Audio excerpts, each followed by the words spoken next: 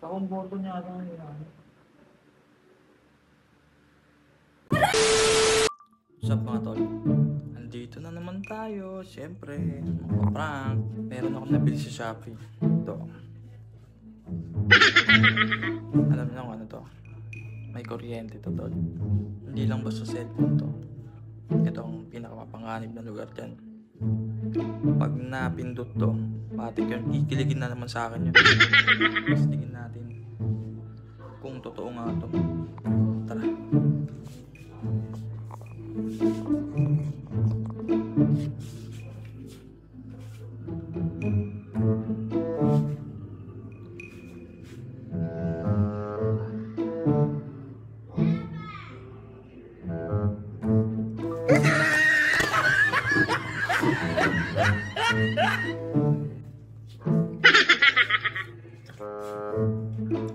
Meron na mga tol.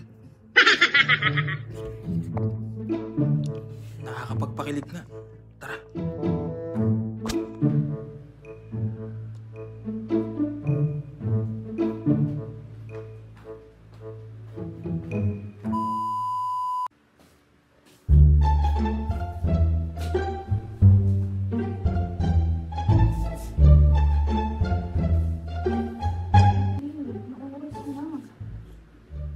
Surprise ka ba? Ha? Surprise pa? Wala. Ayaw nga pala, nakalimutan ako, bili ko pala. Mamaya, wala na yung toothpaste yung ah.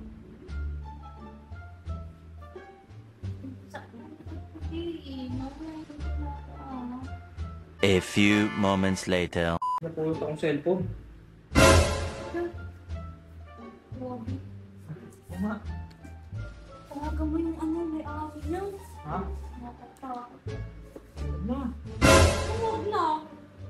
Parang to. Bahala ka dyan, tawagan mo yan. Balik mo yan, di naman yan sa'yo. Oh, balik eh. Kung alam number mo. Na? Doon lang yan, ano mo lang sa dito oh, sa phone.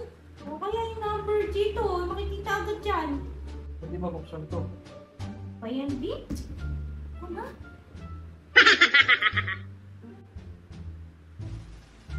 Dapat tawagan yung may araw nito. Anong tawagan? Dapat ayaw ma-open baka na ba? Takong boto niya ata yan. Ah.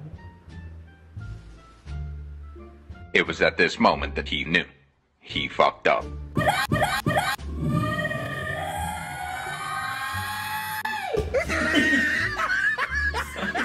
Bulat ako.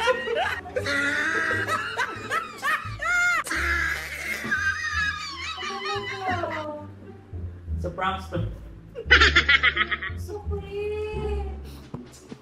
Tumama pa dito yung ano kamay ko. Para ano tanga eh. Kinilig ka?